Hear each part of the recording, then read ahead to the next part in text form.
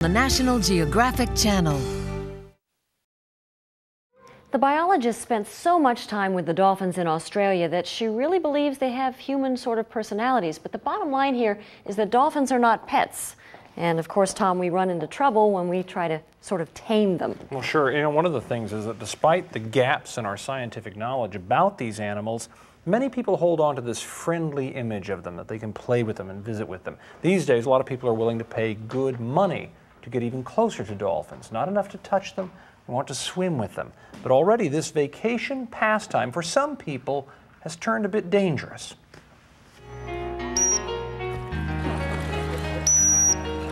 That was so good! Yes, it At the. Theater of the Sea in the Florida Keys, Pamela Allen Hughes works in the Swim with Dolphins program. First time dance! A lot of people do come um, from all over the world, you know, um, and they've been waiting to do this for their whole lives. Here she comes! People like Susan Mitchell and her daughter Michaela of Ohio, who say they will never forget their experience. Awesome! They're sweet. They're really fun to play with. get a big hug and a kiss and to interact with them and just to have a lot of fun. This has been my daughter's dream for probably about five years. New Yorker Bonita Hero will also long remember her swim with the dolphins in the Bahamas, but for a very different reason. I just knew when I started going to the net, the dolphin was going directly to the net. I knew that something wasn't right, but nobody had gone before me, um, so I wasn't familiar with how the process was. When the dolphin directed me towards the netting and then redirected me to the piling, I knew something was seriously wrong. The swim continued without incident, but Bonita insists only her quick thinking saved her from certain injury. She unlocked her knees to jump off of the dolphin, and by doing that, she avoided the piling. in my mind, a lot of people um, have this misconception that it's safe, it's 100% safe, that there's no fears, nothing to be concerned about, and that there's no harm that's going to happen to anyone. In reality, it is very unsafe, and that people actually still go back in the water and still continue with these programs is amazing to me.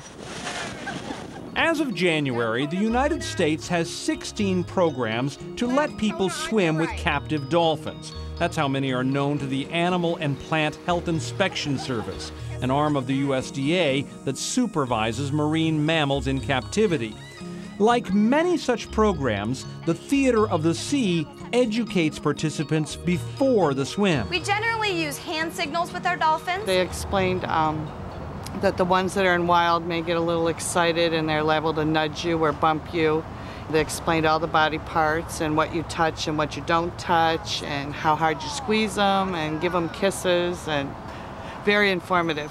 It's a very safe thing to do. Um, they're, not every dolphin's eligible for human dolphin swim programs. Um, some are more athletic dolphins, and they're more they're, they participate more in shows and other programs.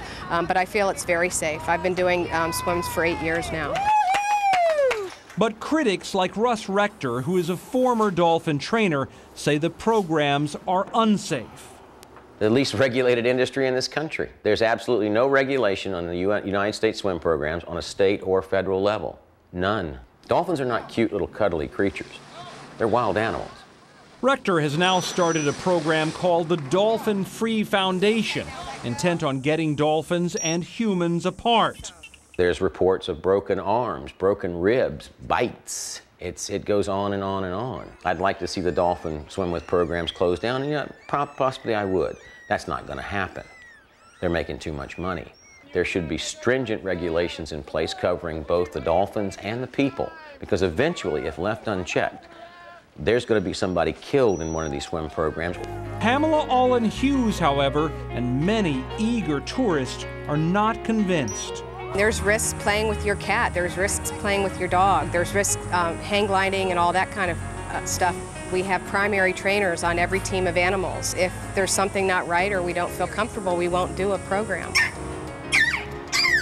Very nice.